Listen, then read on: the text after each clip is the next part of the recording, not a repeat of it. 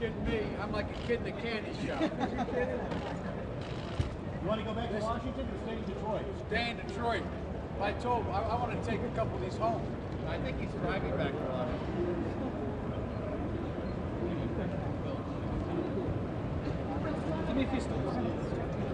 We are. So right behind you,